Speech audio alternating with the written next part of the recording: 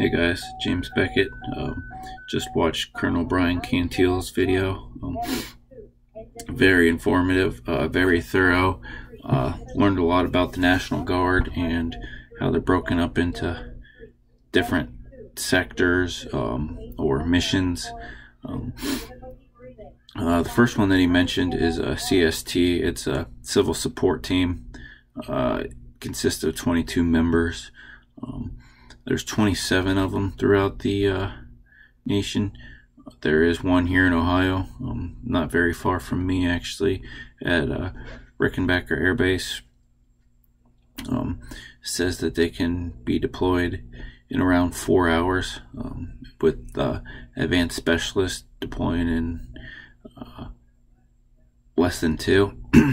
I thought that was a phenomenal time. Um, it's quicker than I would have anticipated. Uh, pen, he said pending notification and authorization. Um, so I'm sure that they get a heads up that they might be going so they can start planning a little bit. But even still, that's uh, significant uh, time just to pack up and go like that.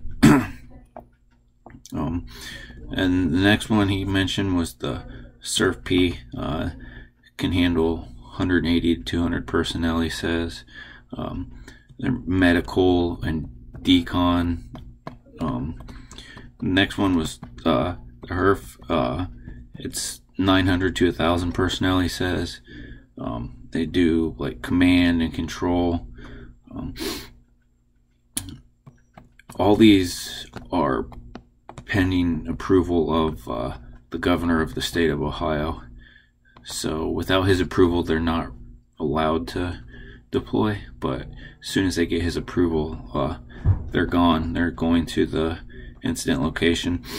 Um, the other one is the DCRF, uh, active and reserves. Um, this can do three to five thousand people. He said um, it's through uh, Title 10 as well. Um, has an aid aid compact uh, where depending upon the incident it can be uh, deployed nationally.